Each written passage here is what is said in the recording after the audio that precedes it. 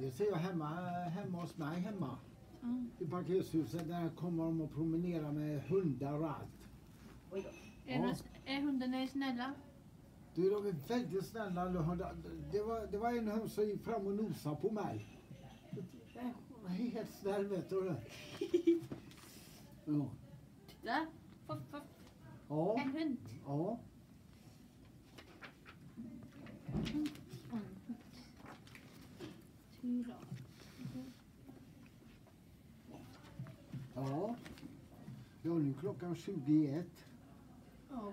Och sen blir det fika. Oj, nu kommer vi nog... Så här kan det se ut. Ja, gärna. Och du hämtar färg. Kan vi måla oss alla? Ja, gärna.